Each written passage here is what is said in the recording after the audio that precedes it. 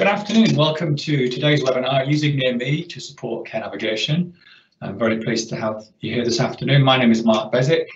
I'm the National Lead for the Near Me Network, and I'm also joined by my colleague, Lindsay Wallace, who's the Improvement Advisor for Health Improvement Scotland. Before we get underway with the rest of the webinar, um, everybody's going to be on mute joining the webinar today. Um, and if you do have struggling uh, problems hearing or seeing us, please leave the webinar rejoin with a link. Um, and also there's some tips for getting good Wi-Fi. So things like shutting down other browsers that are using the, the broadband that you're on nearby. Um, if you can connect to uh, the network directly using an Ethernet cable, that always helps. So anything to get your, your good Wi-Fi signal will hopefully help you see and hear us clearly. Just to orientate folk, to the live event today. If it's something you've not been on before, what you see here is the screen you should be seeing and what you can see is the settings on the bottom right hand side which will show you uh, that you can change the playback speed, you can have the whole session subtitled or translated, and you can also change the uh, quality of the audio and the video if you're struggling with some of the broadband width. You can also pause this event um, and pick it up a bit later on as well if you need to nip out for something. And we would very much like to um, engage with our audience today. So if you could just pop into the chat, you know, where you're from and um, uh, and what profession you're, that'd be really helpful just to get a feel for who's in the who's in the audience today. You can see the the live event Q&A on the right hand side of your screen, and you can just ask a question in there. And you can also pop your comments in there anything, any ideas or comments on the content you'd like to make, please put that in there as well. And if also, if people pose questions that you might have an answer to, that would be great if you could share that too. We are recording this session today and we will share this with everybody who's expressed an interest in joining so you can share it with colleagues who can't now join with you today if you need to. We'll also share uh, a recording or excerpts from the Q&A session as well along with links of the, the websites that we might refer to as we progress through the session. So I'd like to again uh, present to you this afternoon our, our, two speakers to get us kicked off with. One is Alan Stewart, he's a GP for medical practice at House for NHS Fife. I've also got Fiona McGirr, practice manager from Dollar Health Centre in NHS Forth Valley.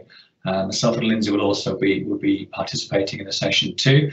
We'd very much like to engage with you on social media, so we've got a couple of uh, Twitter handles there for uh, Lindsay and myself, and also uh, NHS Near Me, which is our main uh, site, and also uh, SPSP underscore PC for the um, uh, Health Improvement Scotland sites.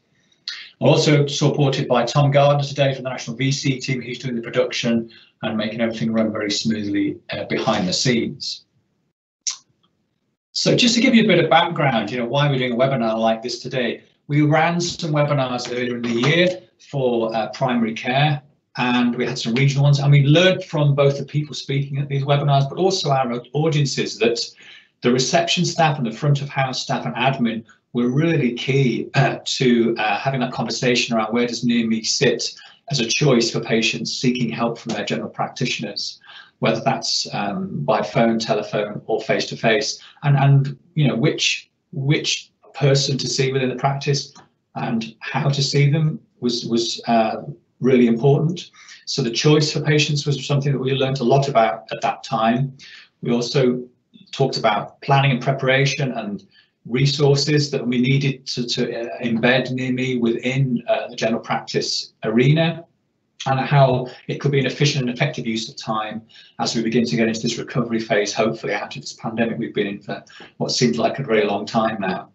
Um, and we also learned about how the whole team participate in, in good care navigation and where Near Me sits within that, around um, appointment scheduling, so looking at, you know, a whole team approach for near me, MDT team, uh, patient choice, and, and, and, really appreciating where practice managers and the teams that work practice managers are central for the effective delivery of, of care navigation choice and, near me as part of that within that um, arena.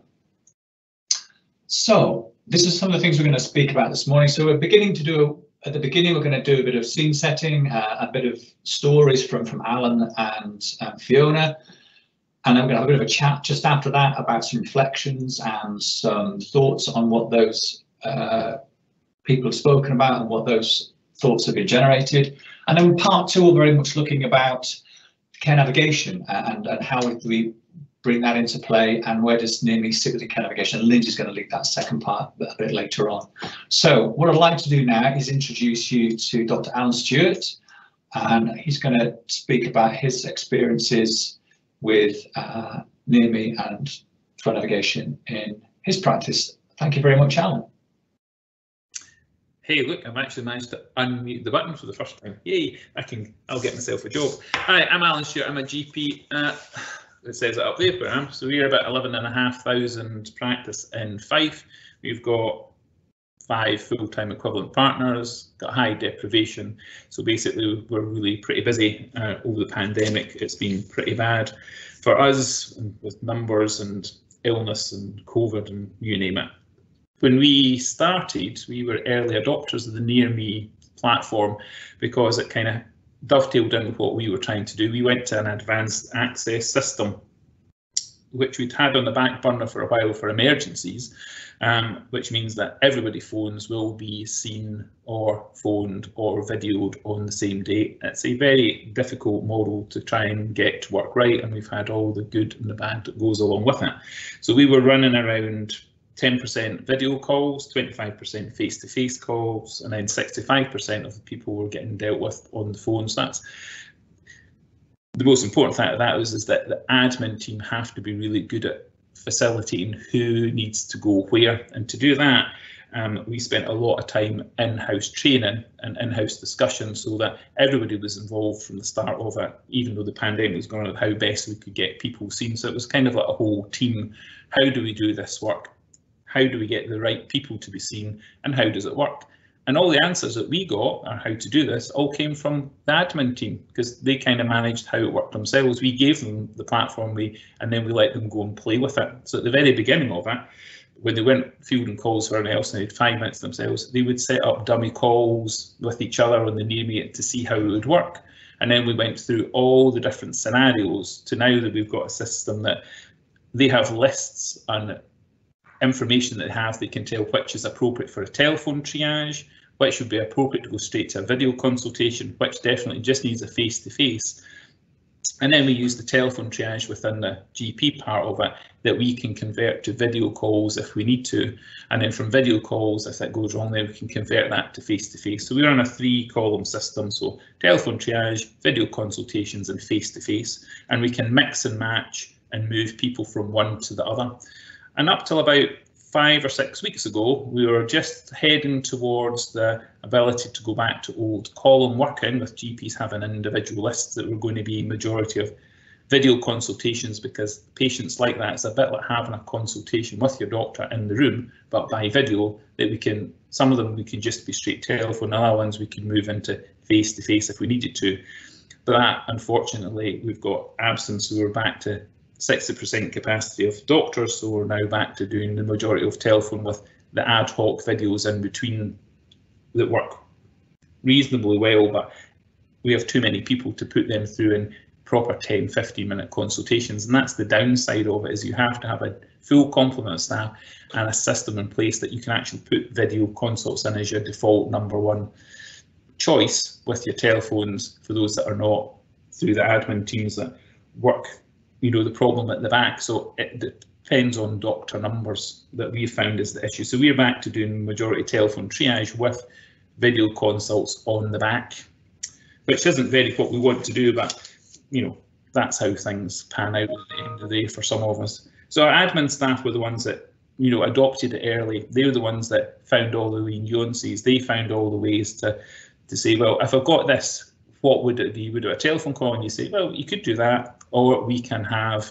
you know, video. So eventually we've got a nice list of things that are appropriate for videos. So all skin problems will go video without going anywhere else, cellulitis, back pains, you know, gouts, foot pains, joint pains, rashes, sore throats, allergies, leg swellings, throat symptoms, all sorts of things that you can use on a day-to-day -day basis. We go, oh well, we can do that as a video, and then all the other things you've got the usual telephone ones, and then you've got obviously the ones that are going to need exams, so you're not having to triage people and then put them in slots the front house will manage to triage the majority of them. And if you get a telephone that you think needs to triage to be video, you can convert that, send them the link, pop it in a video slot, and then you can just change that to video one, or you can sort that and change it to a face-to-face -face one. So it gives you choice for different things, but everybody has to be on board. Everybody has to see that as a possibility. So we've got plenty of spaces for it, so we don't have full surgery that are full of pre-booked people, so that's why the advanced access works, because you can take your big pile of people, front of house can decide if they can do, they can separate them out into the groups that they need go with it, and the majority of the time they do that really well. If you've got telephone needs converted, you've got space to put that in, and therefore by the end of the day, you've seen everybody who's contacted, everybody that needs a face-to-face -face will have got one, everybody that needs telephoned will have got one and everybody that might need something seen can get videoed as well so for us, it works really, really well. And the girls have taken on to it really well because, you know, they're quite used to it. Most of them are quite young, so most of them are pretty IT, so they can go through with the patients the chat about how best to do that, how it's a good thing for them to take them through the little IT issues that probably to talk to them about the, you know, Safari, which you know which browser they need to use to go on with it and get them into the waiting room because that at the beginning was the big issue. But that's become much less of a problem now because the platform is a bit more stable. People know what they're doing. We can now text them the links directly to their phone, and most of them have got mobile phones because that's the best way of doing it. And most of them will get into the waiting room with reasonable signal. Some of their old platforms, some of their old IT is a bit pixelated, but with that you have a choice of saying, well, I can't see very much. You can come in, you know, and we've got capacity. So it's that is the ability to change what we found is the most important thing. So most of the time of the last year, that's where we've got to with our video consultations our plan was to go into having dedicated surgery time that we're going to be basically on the basis of a video consultation as as the as the bottom line, with some phones thrown in for those things that were you know not really required, like medication advice, talking about results, reviews, you know contraceptions, you know, medical certificates, blood pressures at home if they've got monitors, menstrual problems, thyroid issues that require, you know, just chat that goes along with it. Anything that's obviously you don't actually do very much in seeing. So, and the girls are getting quite good at differentiating those things that might need to get seen to something that required no physical contact. And we're heading down towards the line of getting towards most of our video consults being our default our default appointment to go back to having six doctors working you know, booked surgery time to free up the middle of the day to do visits and all the paperwork that's become a problem. Unfortunately, that's kind of gone sideways a little bit, but that's still the model that we're heading towards. And hopefully, if we can get our staffing sorted out and people back in the building, that's where we'll go to next because people like seeing, I don't know why they like seeing me, but people like seeing the doctor for some reason. The phone's grand, but some of the times they just need that, just somebody to look at, somebody to talk to you know, and we find out with our face-to-face that the the satisfaction levels are much higher, the return rate is much lower, and the middle ground in AME gives you that without you having to have the risk that goes on bring them into surgery with social distancing. So I think it's for the future for patients, it will give them more satisfaction and will work better for us. But for us, we need to have, you know, bodies to do that, to make that work. And I think the pandemic and people being off and absence things, they become more of a problem. So that's where we are. Smashing.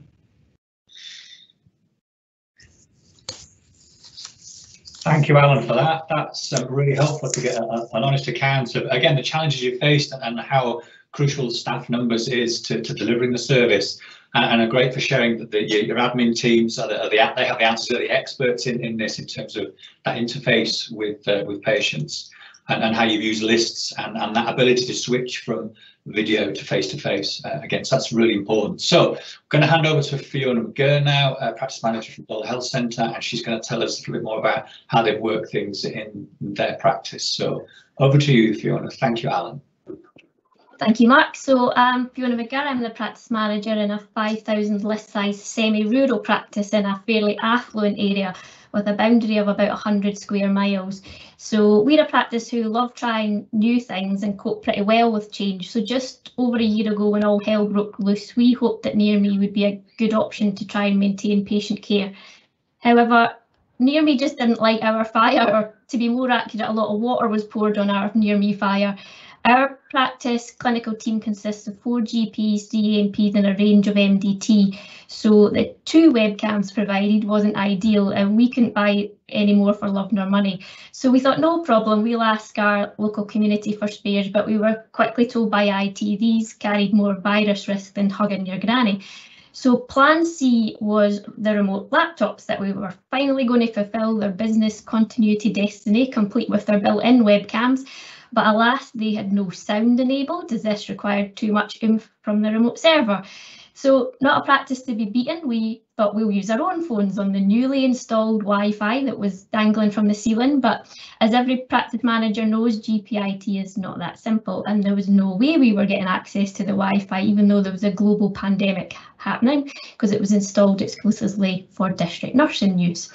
So we limped on with our two webcams and a keen GP engaged a few test patients, including an elderly lady she wanted to monitor who was a dab hand with her iPad. But even they were struggling to nail the technicalities. And within days, really, we had staff working in COVID assessment centres, COVID triage hubs, isolating due to rugby trips to Italy or small coughing children. So our very competent admin team had switched overnight from care navigating to numerous options to total triage whilst screening for COVID symptoms, drowning under a mountain of panic prescription requests. So asking them to deduce which appointments were conducive to video consultation and then email out instructions just wasn't happening. At this point, I wish I could say I kept the near me fire burning, but the millions of emails a day with their 16 attachments each with the useful information buried really deep in them was just taking up way too much headspace. So you're now thinking, why on earth have they chosen me to reflect on the practices near me use? And I've asked myself the same thing. But um, I think Lindsay knows that we're not a practice to give up or stay still. So I'm sure that all practices are in a bit of a more stable uh, position this year, although with different challenges now. And it's been dawning on us for a few months now that, that we're in this for the long haul. So as a practice, we've been looking at our mid to long term plans and we won't be going back to normal, nor do we want to. So near me is no longer just an infection control measure for us. It's an opportunity and a valid choice for both patients and clinicians. And we've been trying to reignite our near me spark. In the autumn of last year, it was our advanced physios and mental health nurses who were making best use of video consulting. They were triaging their own caseloads and had longer appointment options. And they fed back to practice huddles that things were going well when it was used in the right context and started to show us features of instantly sending the text or email link and instructions for near me, which was going to make life easier. So we spent time at Huddle discussing who was best placed to offer the video consultation appointment. Was it going to be our admin staff at the first point of contact, clinical staff after triage, or was it when you wanted to escalate a telephone consultation? So a lot of what Alan's saying is really useful and I'd be keen to see the lists that they've produced. Um, what type of consultation is exactly what we're trying to work out lends itself to the value added from video consulting. And do patients even actually want this option when lots of us, what we were starting to hear was that they wanted to see the doctor. So we conducted a very small patient survey on our Facebook page. And um, interestingly, over 60% of respondents were open to using video consultations versus only 37% for an email consultation, so presumably we read into that that it wasn't based purely on technical abilities. Um, some comments included that they find the remote service useful as they don't need to take annual leave to attend appointment, that they prefer the video consultant over telephone as they feel that much more can be understood from visual contact, um, that they, one patient felt that we were better placed to choose the communication method, and another comment was they prefer face to face during the pandemic, but understand that we need to be flexible and creative going forward. We repeated the survey on paper at our over 80s COVID vaccination clinic and saw a low but not insignificant willingness to use video consulting. And anecdotally, I think our elderly population's engagement with technology such as Zoom and WhatsApp has definitely grown throughout the pandemic. It's not quite as scary as it was before. We also asked for staff feedback on what was going well and not so well, and the consensus was that we definitely needed to move away from a triage heavy appointment system and reinstate much more elements of our previous care navigation. Further discussion revealed that admin staff had growing confidence in knowing which patients needed seen and how to sell the alternative options, and clinicians also trusted them implicitly that, that they felt their time was better spent consulting rather than this double triaging patients and that admin were more than competent to do the signposting. Huddles also highlighted some near me tips, including asking the patient to flip their camera as if they're taking a selfie on their phone if they're showing you a rash, because the front camera's got a higher definition and so actually that was one good tip we picked up. That three people can be present during the call, so it's useful for relatives or interpreters being called in. And our admin staff actually prefer to use MJOG because it's already sitting on their desktop to send the links as they use this for, for other routine reasons. I would stress our practice huddles are only 15 minutes twice a week, but they allow a timely and productive whole team discussion and it's not particularly onerous um, it keeps us moving along rather than trying to wait for that kind of partners meeting every six weeks. So moving forward, we feel the right approach is to promote near me to our patients as gaining a service rather than that we've taken away face to face. Um, we're going to continue to use our huddles to take a whole team approach to mould what we offer. And we've decided to initially actively offer near me consulting for MSK issues, mental health and fit notes that re require a consultation. So we feel these consultation types have value added by the video rather than the telephone and they target it target an engaged enough demographic and allow the staff, both administrative and clinical, to build confidence moving forward before we eventually get to a system much more like Alan's where we have a definite pathway. Uh, we plan on using Facebook to promote Near Me as an option alongside a wider care navigation campaign, campaign based on our survey findings. It was interesting to see what people still didn't know about, even though we've actively been care navigating for a long time. And we hope in the future to test the appropriateness of near me in chronic disease management as we're currently moving to the House of Care model. Um, luckily, uh, we're a small community, so our community development trusts are keen to support the practice and are going to offer support to our community to engage with video consulting, which is going to be made easier by their face-to-face -face restarting of services soon. So we don't think our near me fires will ever rage, but at the moment a warm glow enough to toast our marshmallows will do for us. Uh, thanks for listening and I'm happy to try and answer any questions.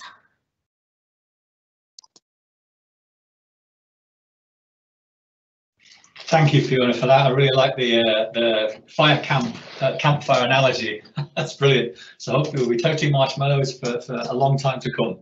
But that's really good. And again, uh, how you persisted and, and, and, managed to overcome those difficulties in the face of adversity is a really good account of, of how that that was that was done. So well done. Your persistence paid off, and and the use of the wider MDT in terms of AHPs in the practice. That's really good to hear too.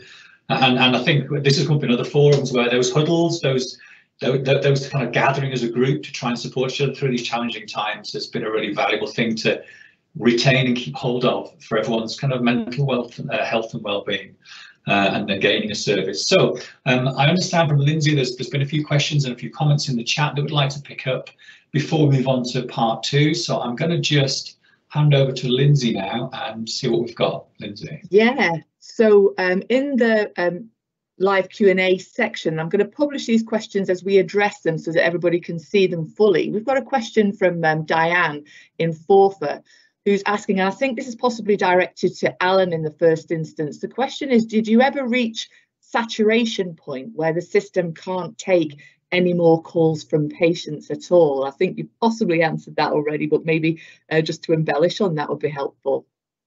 Uh, uh, yeah, um, not yet, not yet. We have got to the stage we've been pretty close to losing our marbles, but we've never got to the stage that we've been totally saturated we have a kind of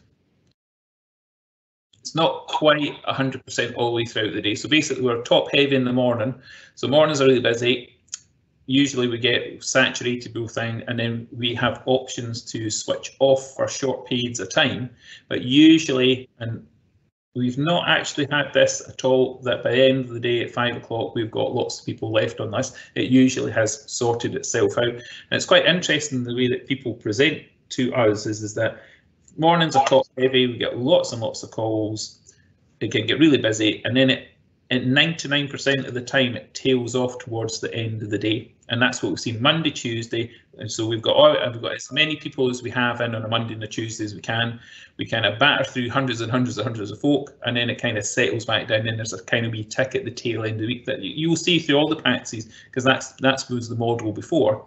But we have we have staggered our staffing so that we have just about everybody bar one in on a Monday and a Tuesday, and then it kind of then we kind of start throwing half days and days off, and part timers move and Then we've got a wee limp along to the end of the week, and then it's either trickles away to nothing, or the usual, or it gets a wee bit busier on a Friday. So yeah, but we've never got to the point that we've been saturated. But when it starts to get a bit leery, we just switch it off. So for an hour we say that's us. We're not taking any calls. It's emergency only.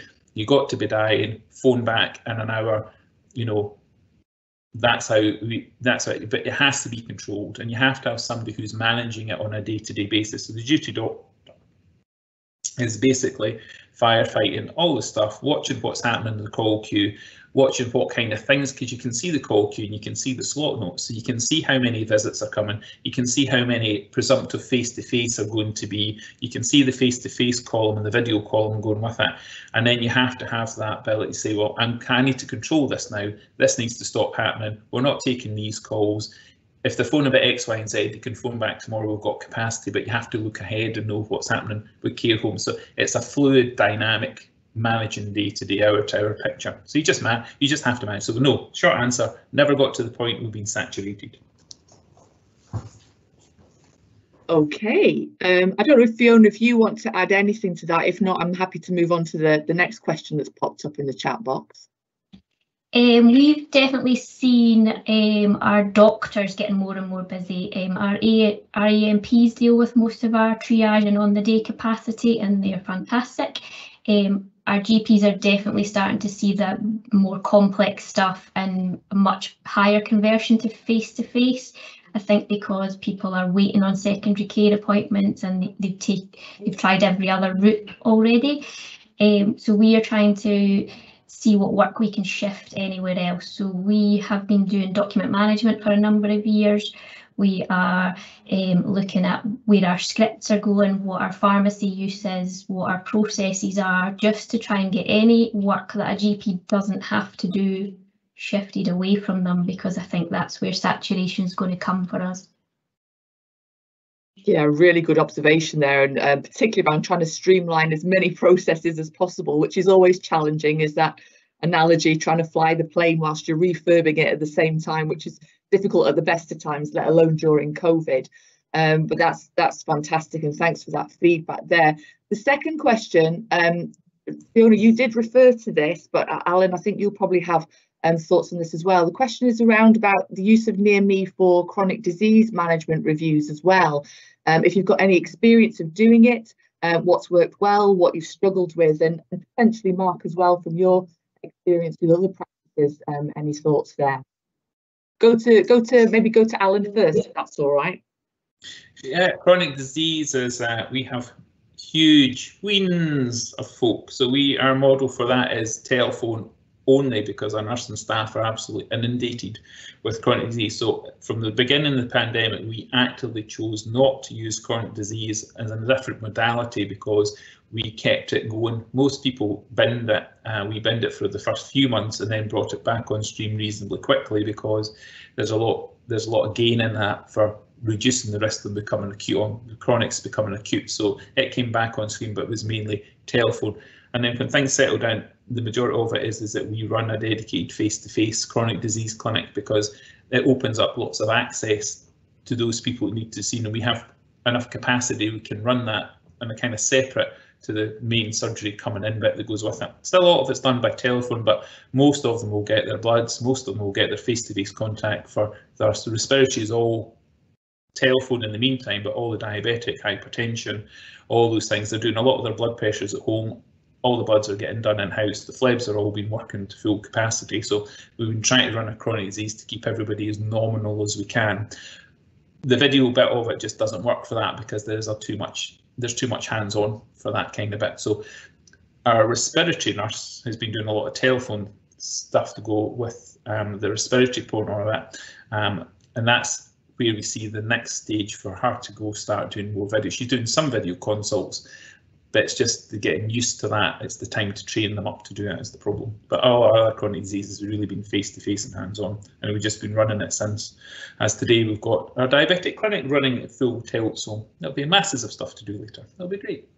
Absolutely, but it really is that kind of sifting and sorting exercise, isn't it, about what type of consultations lend themselves to near Yes. me from a clinical viability perspective, but also from a patient experience perspective as well. I guess you kind of have to balance the two considerations. And that's exactly it's the balance of what gain are you getting out of it, which is just the thing. So I think that gain, if you get gain for, you know, patient reduction of risk and reduction of coming back with something else, then it's worthwhile getting them just in to be seen face to face because that's what's going to keep them out of secondary care, stop them getting issues, stop them ending up taking it and then coming back to us for follow-up things with it. So if we can manage the chronic disease, I think that's where we need to all be looking at getting these all back on stream because they work really well, keeping people away from other folk. Because you pick up all the stuff, you got all the little nuances, all the AKIs, the I've got a bit of chest pain, you know, I've got my COPD's gone a bit bad, my diabetes might be a wee bit, my feet might be going a bit funny. You get them early, it just stops them becoming a, an acute thing, and then before you know it,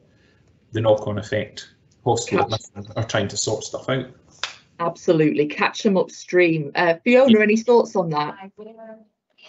Um, we're kind of in a very similar position. We, um, our new practice nurse started the week we went into lockdown, so that was an interesting experience for her. Um, we also always planned to move to house of care, so we brought our chronic disease management back online pretty, pretty early in the in the lockdown period.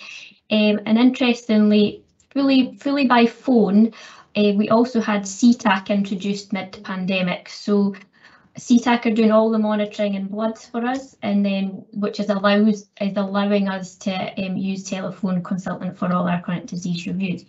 Um, we've had quite a high engagement and higher than previously, particularly I think people will have seen it as well. A greater engagement from asthma patients who typically don't engage when they're feeling well, but actually they suddenly needed to ask for inhalers and things. So we thought, oh, I better check in with people. Um, definitely only using near me when there's a value added because it, um, we think yeah inhaler technique things like that where you actually want to have eyes on the patient um, and definitely house of care moving towards a much more what matters to the patient so giving them the options um, I think we do have an older than average population um, but definitely the chronic diseases where it's more working age people I think uh, near me will have massive benefits to us but we're just still in the infancy with it. Perfect. And Marc, any thoughts from you? I can just to reiterate, you know, what uh, what works for you in your local situation. What kind of clients, the patients do you have, and what kind of staff you've got in your practice. Um, and again, so other practices are using uh, near me uh, more for things like asthma reviews, diabetes reviews, look, eyeballing people's feet, all that kind of stuff. So it's adding that extra layer, which in that situation might be the answer you need to prevent that person developing a condition that needs an acute intervention. So again, I think it's very much you know knowing your population, knowing what you've got available in your practice. Um, so yeah, no, really good to hear that. Great. And we've got um, a final question for the moment. Um, is a question from Claire. Uh, this is a, a question dear to my heart, and I know certainly to Fiona's heart as well, because she's asking, what kind of training did you implement for your admin team in particular um, around near me setup? I'm assuming it is, and how quickly did they become confident with the new process? And Fiona and I, through the care navigation work that we've done collectively, know only too well that staff confidence and competence is, is a defining factor in all of this, definitely. So Fiona, maybe um, some thoughts from you initially there. Um, we've been part of PASC for um, a number of years now, and care navigation has been high on our agenda pre-pandemic. So our staff were used to kind of having that ongoing training, having discussions as new MDT came in, um, there's a standing joke where it's not a good week in our practice if we haven't changed something about how we do something, which can get a bit exhausting sometimes. but um, definitely a whole team approach to it. Um, what was going to work, feeding back. It wasn't just done to admin staff. I think very much as Alan said that um, they are the linchpin in all of this, and their ideas they're at the cold face of what pa uh, patients are asking for, what's not working. Um, it's very much been in-house due to the pandemic, so we just the week before we went into lockdown, we'd purchased a massive big TV that links into a computer in our staff room. So being able to do a bit of training and that's helped so you're not hanging over somebody's shoulder all the time as well. I know it's a silly thing to think about, but um, we had a new we had a new member of staff starting in the June, so their training was quite difficult um, from a social distancing point of view, but that TV really helped because we could do it socially distanced.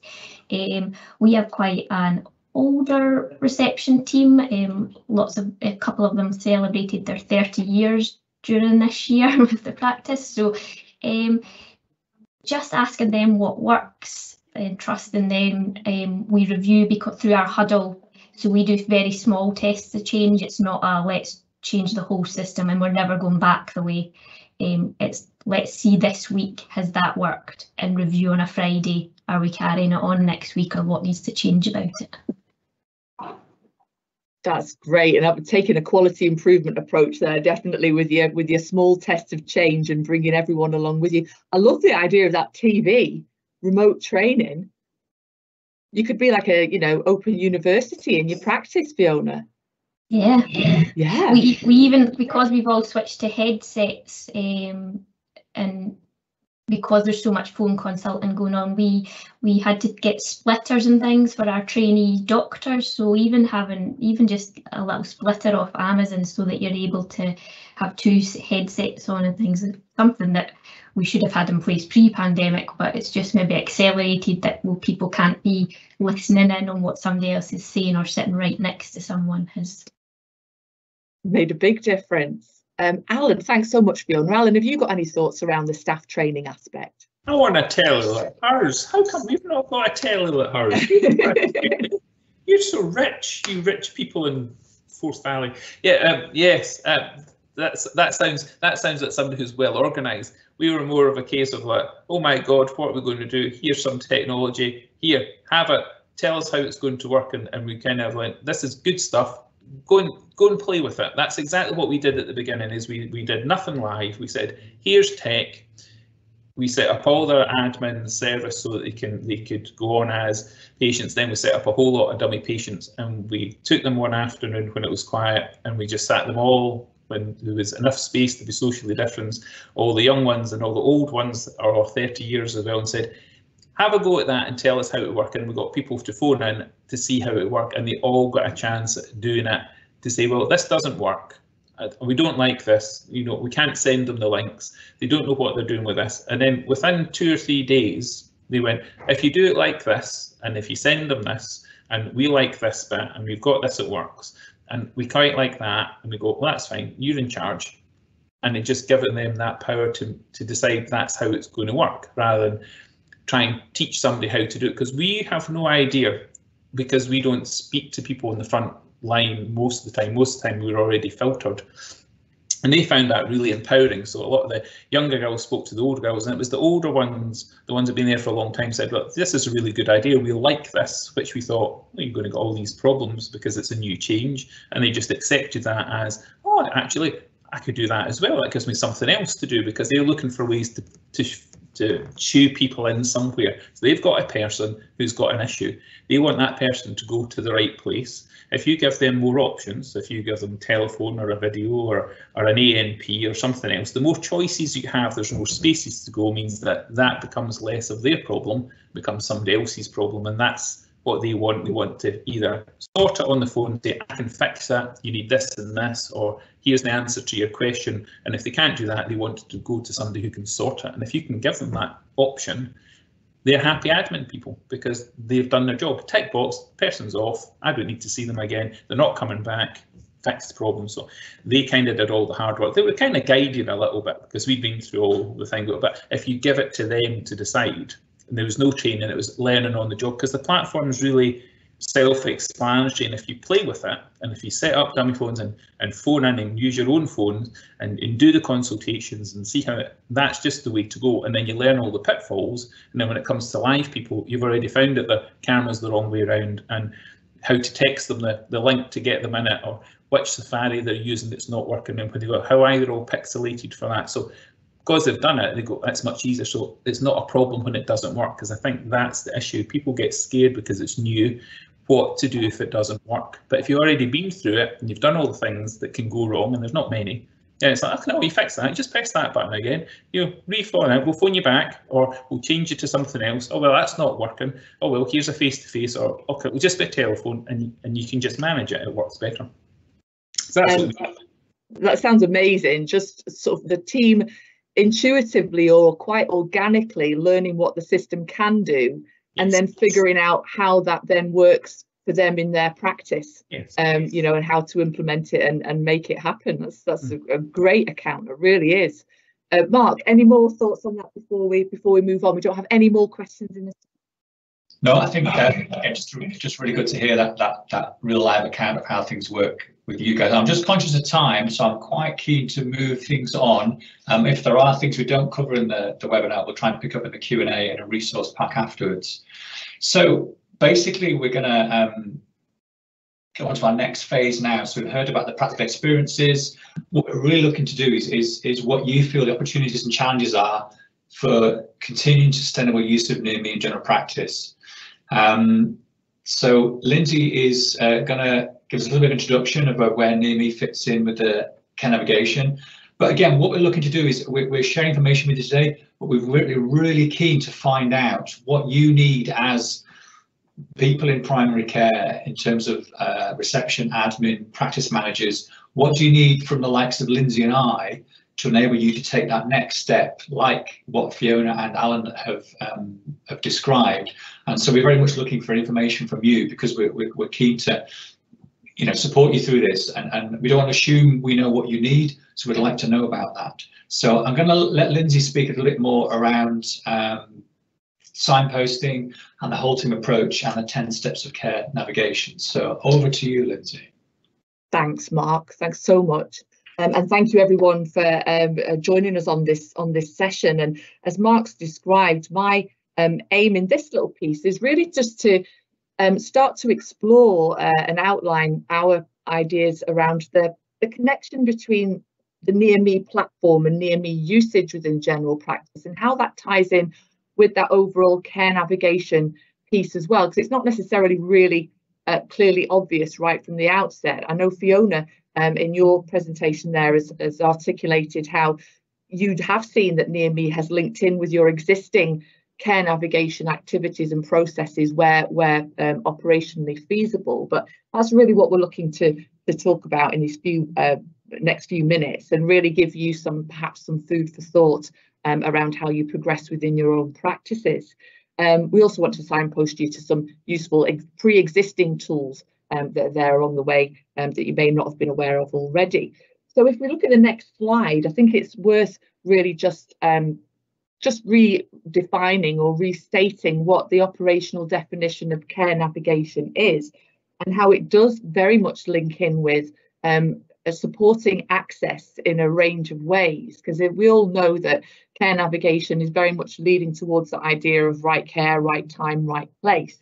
And i think historically certainly pre-covid the right place element of what care navigation is was very much the emphasis was on that physical place, the general, the, the practice or, or direct face-to-face um, appointments with the relevant health professional. Whereas now, COVID has very much shown us that the right place in some instances um, actually is that virtual um, world as well. So it's something that therefore very much sits within that ethos of care navigation and what care navigation um, is, is all about.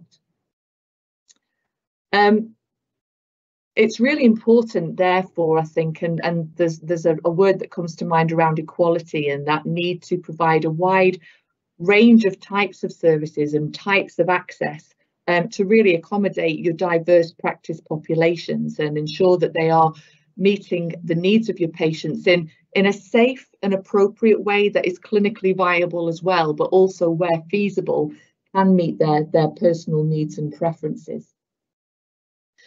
And as I was thinking about uh, the care navigation and, and near me connection, um, it very much reminded me that the work that um, the practice admin staff collaborative, which I've been leading for the past couple of years and that Fiona has very much been supporting, um, really does link in with the way you think about it and how you can start considering actively implementing near me in practice.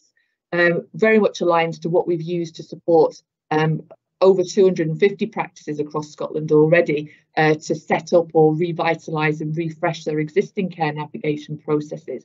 And the next slide um, shows this kind of 10 step approach to care navigation um, that we have promoted um, over the past five to six months now that supports practices to rapidly um, set up or um, refresh their, their care navigation processes in practice.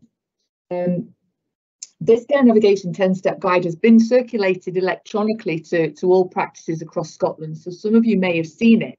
But when we're thinking about um, the near me steps uh, involved in getting to grips with using near me in practice, steps four to 10 on this list um, are particularly relevant and there's particular parallel and crossover. Um, and if we go to the next slide, you'll see that essentially there are some key questions that you do if you haven't already fully embrace near me within your practice, you might want to start thinking about in order to ready yourselves to do it. So questions like how ready is your practice to use near me in terms of what equipment and kit have you actually got in in um, in place? Um, you know, what's the layout of your practice like? How are you coping with the social distancing requirements and infection and prevention control requirements? And where could near me potentially help uh, in that? Um, what does your team currently know about using Near Me? And as Alan and Fiona have said, you know, teams, it's new to everybody and everybody almost felt thrown in at the deep end um, uh, uh, come March last year. So, you know, what do people think about it? What's their understanding of it? And what skills and training and learning do they actually need to help them utilise Near Me to its best effect? And critically, uh, what patient groups uh, and again, Alan's experiences in this really highlight that there are certain patient groups which we know now through collective experience lend themselves very well to using near me and perhaps some that are, are, are less uh, doable. How's your practice uh, capturing and assuring your current use of near me as well? And I don't want to delve too much into the, the question of coding, um, but essentially, you know, trying to get a handle on how much you are using it and how valuable it is to your practice will be something to consider going forward and also that safety element as well in terms of if you are using near me what mechanisms can you put in place to know that you're using it safely uh, and to meet um, the required patient outcomes uh, and lastly who else other than just gps could actually effectively use uh, and engage with with the near me platform i think at the start of covid it was very much uh, GP focused. Uh, all the the cameras were installed in GP consulting rooms, but as we've discovered through the presentations today, there are other professionals within your wider multidisciplinary team who are using it for equally uh, beneficial effect as well. So what are the possibilities out there um, that could be considered?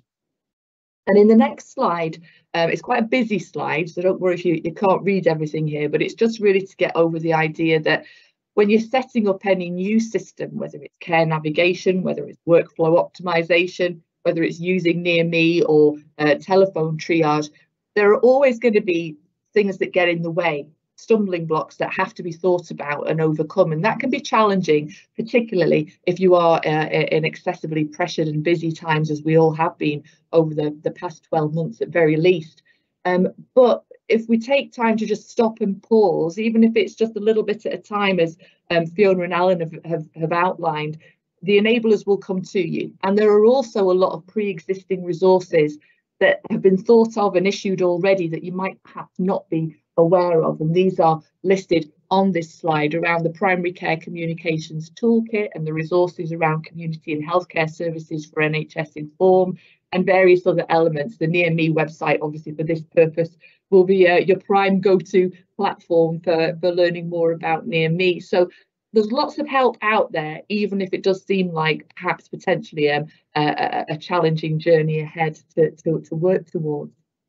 So essentially, those are, are, my reflections. I think there's one more slide that just needs to over to, which is a, a, thank you for me for allowing me to just kind of make that care navigation and near me connection and highlight a few other resources that you might be interested in.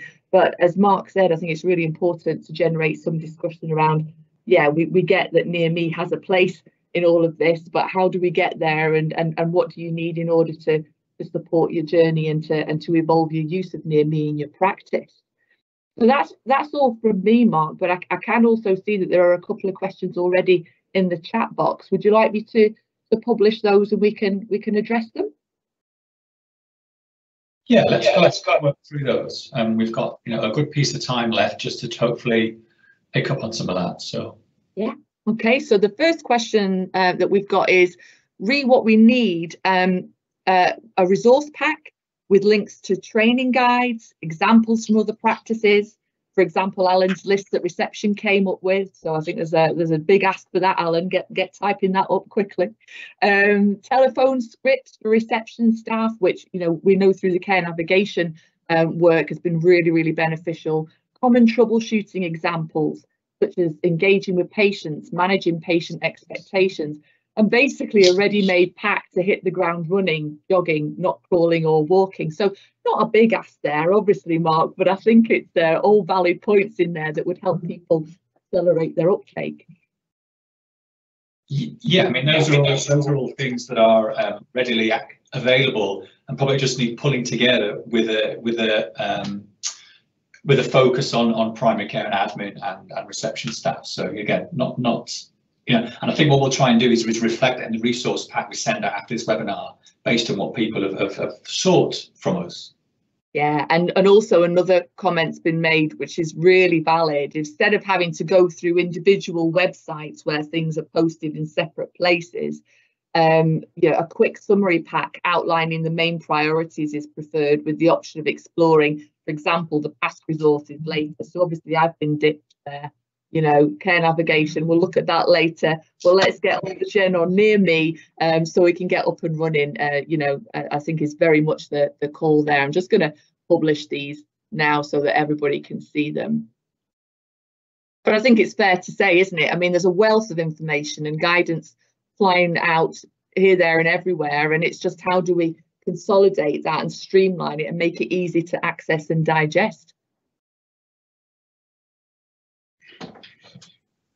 Um, yeah, I'd say um, selecting out the, the, bits that are appropriate and helpful for um, folk in this situation. Let me just pull up.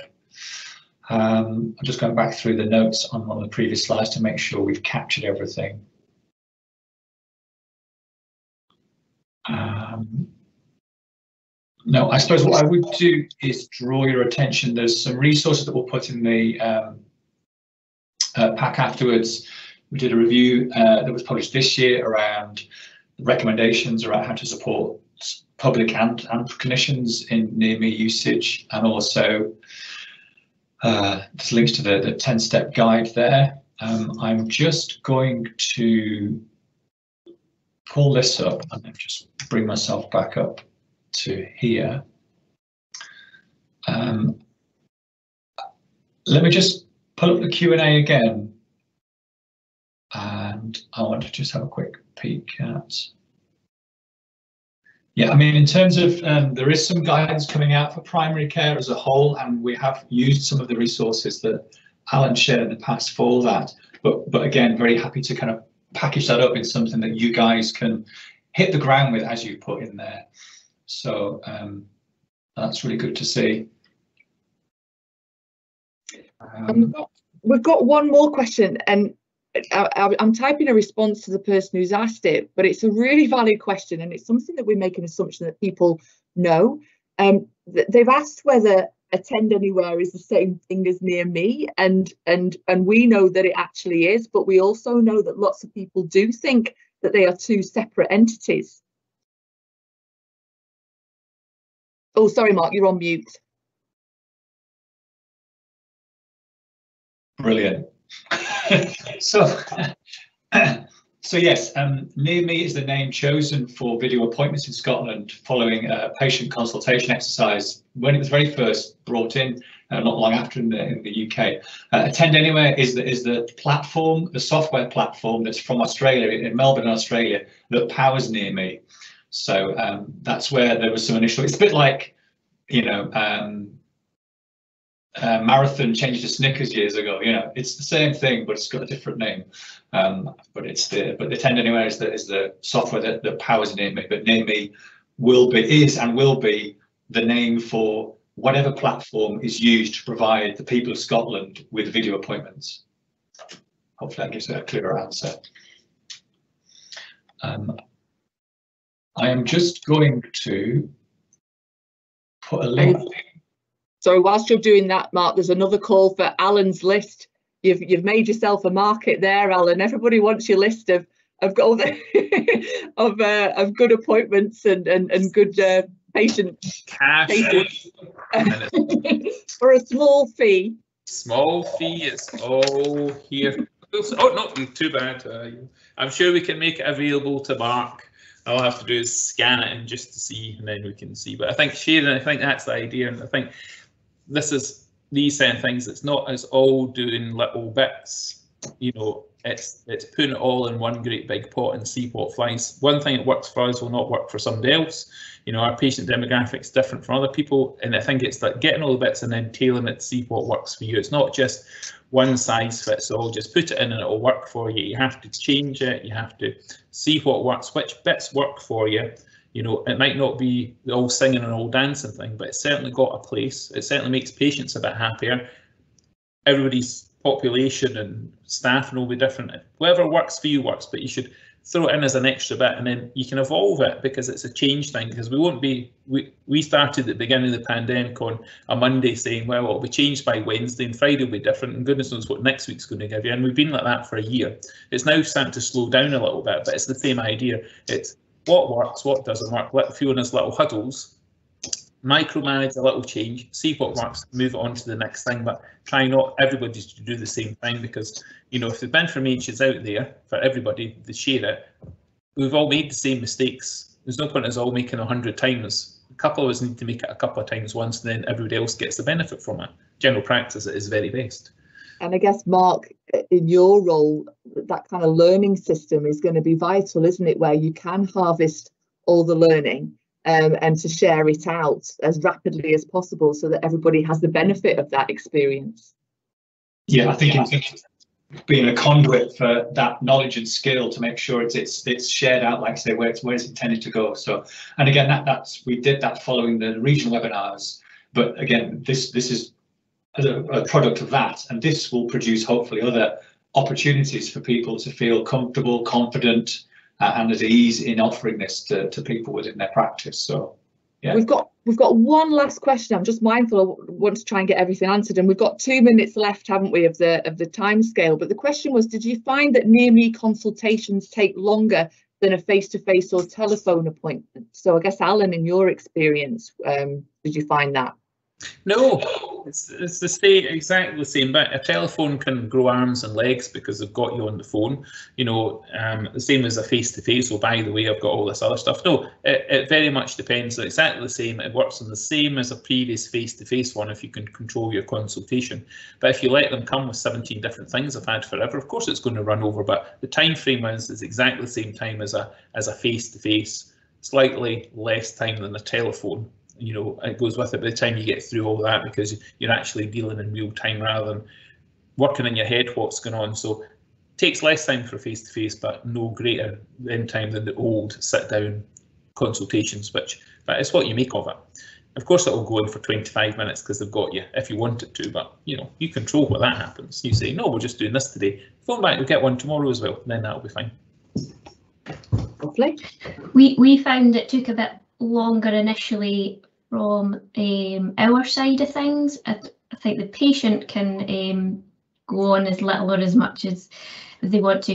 Um, and it was finding the balance between having enough near me consultations that um, they could grow confidence and we could get to know how to do it versus not having too many that we were just bogged down in them and because if a technical issue did come up, then it did take a wee bit longer. So it was just that balance for us of um, doing it often enough to get used to it, but not too often that it overwhelmed us.